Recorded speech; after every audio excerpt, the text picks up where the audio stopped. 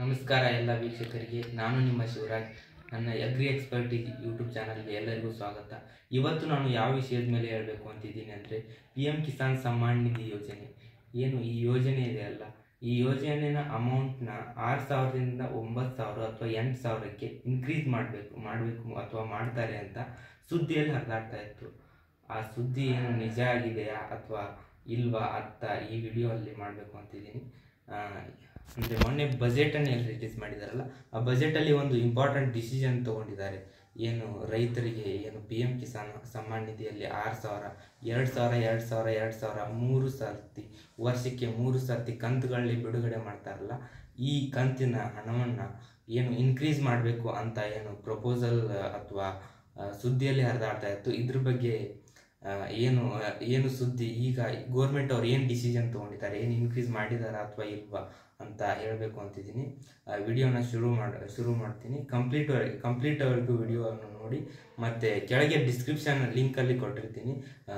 ಏನು P M Kisan application ಹಾಕೋದು ಹೇಗೆ, ಮತ್ತು ಇ ಕೆ ವೈ ಸಿ ಮಾಡೋದು ಹೇಗೆ.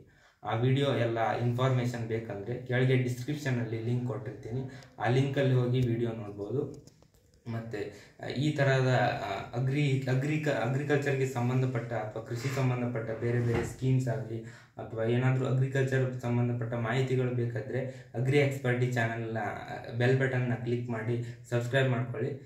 ಈಗ ವಿಡಿಯೋನ ಸ್ಟಾರ್ಟ್ ಮಾಡೋಣ. ಮೊದಲನೇದಾಗಿ, ಇದು ಸ್ಕೀಮು ಆರು ಸಾವಿರದಿಂದ ಎಂಟು ಸಾವಿರ ಮಾಡಿದ್ದಾರೆ ಅಂತ ಜನವರಿಯಲ್ಲಿ ಸುದ್ದಿ ಹರಿದಾಡ್ತಾ ಇತ್ತು. ಅದು ಸುಳ್ಳು ಸುದ್ದಿ ಆಗಿತ್ತು. ಮೊದಲಿಗೆ ಅದು ಏನು ಅದು ಸುಳ್ಳು ಸುದ್ದಿ ಆಗಿತ್ತು. ಆದರೆ ಮೊನ್ನೆ ಏನು ಬಜೆಟ್ನ ರಿಲೀಸ್ ಮಾಡಿದಾರಲ್ಲ ನಿರ್ಮಲಾ ಸೀತಾರಾಮನ್ ಅವರು. ಫೆಬ್ರವರಿ ಒಂದನೇ ತಾರೀಕು ಬಜೆಟ್ನ ರಿಲೀಸ್ ಮಾಡಿದರು.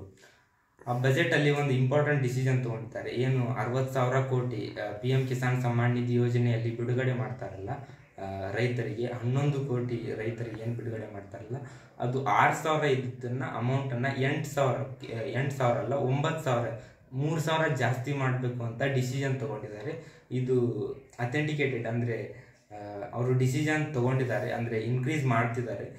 ಇದು ಒಂದು ರೈತರಿಗೆ ಒಳ್ಳೆ ಸಿಹಿ ಸುದ್ದಿನ ಅಂತ ಹೇಳ್ಬೋದು. ಯಾಕಂದರೆ ಇದು ಒಂದು ಸಾವಿರಾರು, ಅಂದರೆ ಲಕ್ಷಾಂತರ ರೈತರ, ರೈತರಿಗೆ ಅವರಿಗೆ ಕೊಳ್ಕೊಳ್ಳ ಕೊಂಡ್ಕೊಳ್ಳಲು ಅಂದರೆ ಏನು ಬೀಜ ಅಥವಾ ಗೊಬ್ಬರ ಅಥವಾ ಏನೋ ಒಂದು ಔಷಧಿ ಸ್ಪ್ರೇ ಮಾಡೋಕ್ಕೆ ಇದು ಏನು ಇನ್ಪುಟ್ಸ್ನ ಹಾಕ್ತಾರಲ್ಲ, ಅದನ್ನು ಕೊಂಡ್ಕೊಳ್ಳೋಕ್ಕೆ ದುಡ್ಡು ಇರಲ್ಲ.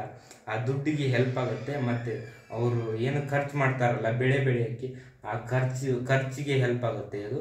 ಮತ್ತು ಅವರಿಗೆ ಲಾಭ ಕೊಡುತ್ತೆ ಅಂತ ಹೇಳ್ತಾ ಈ ವಿಡಿಯೋನ ಮುಗಿಸ್ತೀನಿ. ಎಲ್ಲರಿಗೂ ನಮಸ್ಕಾರ.